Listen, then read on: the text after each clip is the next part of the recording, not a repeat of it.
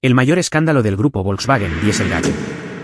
La percepción general sobre el escándalo de Volkswagen a menudo se enfoca en aspectos superficiales, como la ausencia de intermitentes en los Golf GTI o la opinión negativa hacia los conductores de Golf. Sin embargo, hoy quiero destacar un asunto mucho más serio y que podría haber afectado a aquellos que adquirieron un vehículo con motor TDI en la década de 2010. Atentos a lo que vamos a revelar a continuación.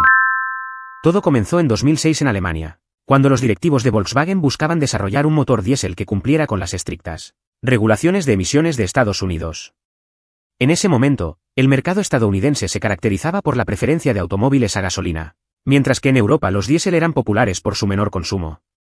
Volkswagen y otros fabricantes se enfrentaban al desafío de hacer que los motores diésel cumplieran con los límites de emisión de óxidos de nitrógeno, un conjunto de gases perjudiciales para la salud y el medio ambiente.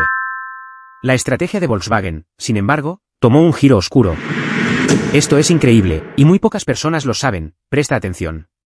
En 2007, los ingenieros de Volkswagen idearon un software ingenioso, conocido como Defeat Device, dispositivo de manipulación, que detectaba cuando un vehículo estaba siendo sometido a pruebas y activaba un mecanismo para reducir las emisiones. Este software permitió que Volkswagen pasara las pruebas de emisiones en 2008 y lanzara sus vehículos diésel. En Estados Unidos.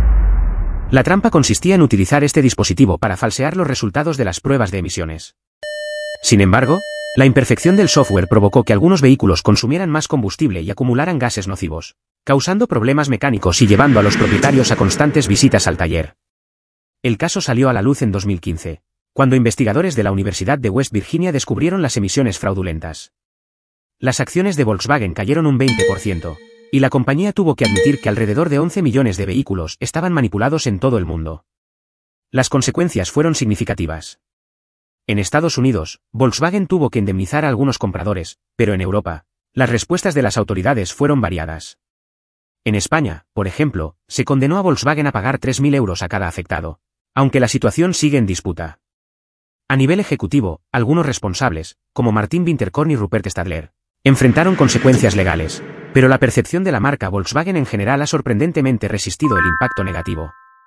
Aunque se presentaron casos similares en otras marcas como BMW, Fiat y Renault, Volkswagen sigue manteniendo una imagen sólida en el mercado.